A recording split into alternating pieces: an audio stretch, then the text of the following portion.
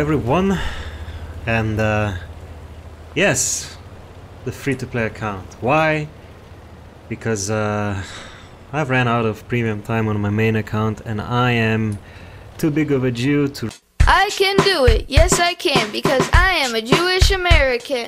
renew it, and I don't want to give my money to wargaming just for the premium time, and I'm not even playing that much.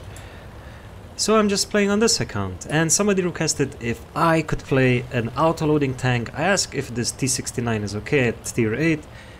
It's okay, and uh, well, here we are, I guess.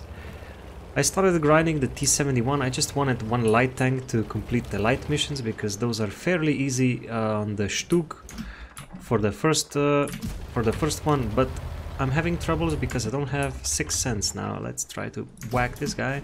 It's one, two, one more. Come on. Yes, that was three out of four. I'm perfectly happy with that. So I still don't have sixth sense, but I have upgraded everything that is upgradable on this tank. I'm gonna go in right now, and it is. It's not the best tank, well, by far, and it's not the worst tank. You have 181 penetration with regular AP shells and 250 with heat. So if you're grinding this, definitely, definitely load on heat shells. Otherwise, you're gonna have a bad time playing versus tier 10s and uh, critical hit. All right. I'm sorry, I can talk and play at the same time, and I'm not a woman because you know men can't multitask. That's uh, that's a fact. All right, so uh, 250 on the premium ammo. Like I said, if you're playing this, grinding this, definitely load up on premium ammo. Otherwise, you're gonna have a really bad time in tier 8, tier 9, tier 10 battles, especially on city maps. And if your team sucks, then well, pff, you're gonna have a bad, bad, bad, bad, very, very, very very, very, very, very, very, very, very bad time. Alright? So, otherwise, this tank, I don't know, aims forever, um, but it, it, it, it shoots fast, you know, so that's okay. But otherwise, it's not fast, it's not the most mobile, it's very, very average, an average Joe, if you could call it like that. So yeah. Come on, baby, come on. I know you want. Yes, there we go. There's the Scorpion G behind the house. Can't really hit it, so very decent and average tank.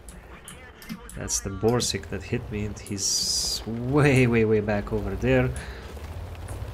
We're still doing quite okay, but I would really prefer if they could spot something in the back. Now this guy, maybe I could, maybe I could shoot this guy. So I don't know why. Why am I even grinding this line? I have no idea. Because the T-57 is also not the best tank in this game, you know. And uh, well, because of that reason, I mean, I am grinding the the the, the Russian heavies now. I'm at the KV-85, so I don't know. I'll just slowly grind this tank to get sixth sense and then get to the tier 9 and T-57. I don't know. T-57 probably blows without premium ammo, so um, we'll see about that when we get there, alright? And I'll tell you the my feelings about that tank when I get there. Now, let's let's try to... Alright.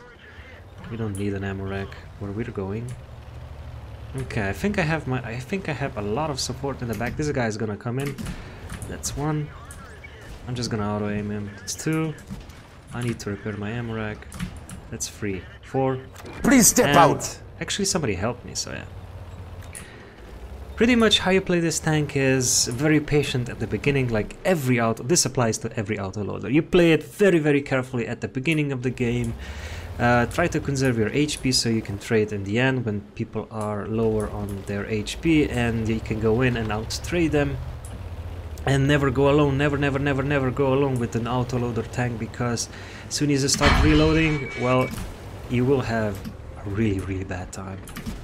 Now, what's up with these critical hits today? Alright, whatever. It doesn't matter, it's still a good game.